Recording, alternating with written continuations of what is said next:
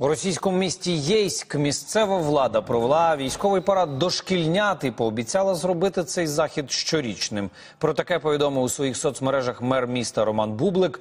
І у параді, який відбувся на місцевому стадіоні, задіяли кілька десятків, якщо не сотень дітей дошкільного віку. Їх вдягнули в костюми, що імітують військову форму різних родів військ, і змусили маршувати в колонах, як на справжньому параді. Також у заході брали участь курсанти військово-навчальних закладів і представники армії окупанта.